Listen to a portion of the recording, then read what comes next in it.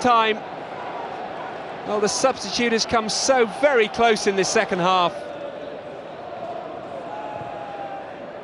The arrival of Robben, who's on the ball here, is a compliment in itself to Scunthorpe. It's Joe Cole, it must be Gudjohnsen.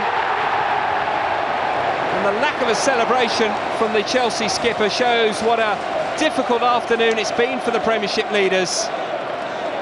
Once, twice, times it's Chelsea. And Gudjohnsen finally ends the gritty resistance